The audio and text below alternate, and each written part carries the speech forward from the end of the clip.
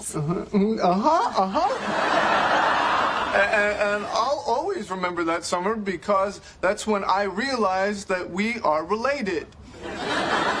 Took you that long to figure it out, huh? Hey, why don't you just let it go and ask her out again? Yeah, you're both so slutty you don't even remember who you slept with. You're made for each other. Interesting. Fine. You know what? It doesn't matter. Because, if I remember correctly, there is a comb on the floor of the bathroom. Who? Oh, uh, I had trouble remembering everyone's names, so I, I kind of came up with nicknames. Like the guy on the other side of you was uh, Smelly Von Brownshirt. In English vocabulary, we will learn the word remember. It means to recall to the mind by an act or effort of memory. Think of again, I'll try to remember the exact date. Also means to retain in the memory, keep in mind, remain aware of, remember your appointment with the dentist. Pay attention to the pronunciation. The first one is the word represented using the International Phonetic Alphabet.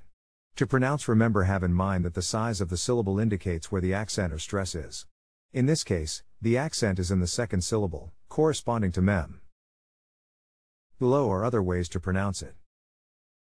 Now, let's see how remember is used in real life. Remember, um, she's dead, okay? Her and Nana, gone.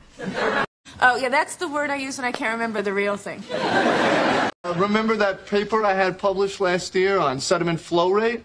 Wow, I don't remember him. Remember, Dad bought every one of my boxes and I ate them all? Come on, remember we were on the sleeping porch.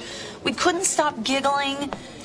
And you just have to remember that you love Chandler.